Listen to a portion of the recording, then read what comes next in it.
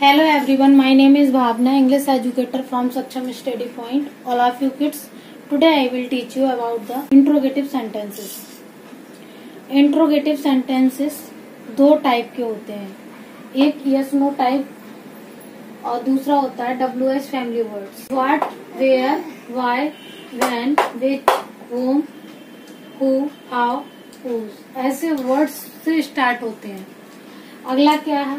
Yes no type is am are से start होंगे। Is am are has have से has have had do या does या did will shall can could might may would should इनसे start होंगे तो हमको पता लग जाएगा कि ये इंट्रोगेटिव सेंटेंसेस हैं। राइट अब इसकी डेफिनेशन देख लेते हैं। A sentence can ask a question such a sentence has a question mark जब सेंटेंस का लास्ट होता है तो क्वेश्चन मार्क साइन लगा होता है at the end interrogative sentence are sentences that ask a question typically to request information they are identified by the question mark that comes at the end of the sentence instead of a period.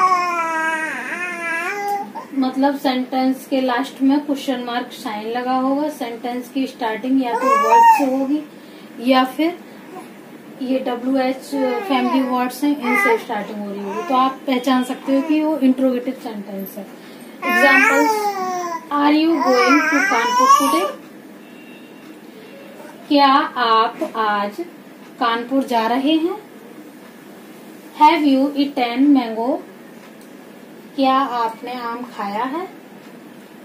Is Delhi the capital of India क्या दिल्ली भारत की राजधानी है? Do you feel hungry क्या आपको भूख लगती है?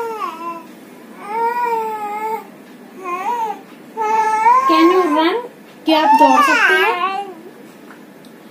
What is your name आपका क्या नाम है?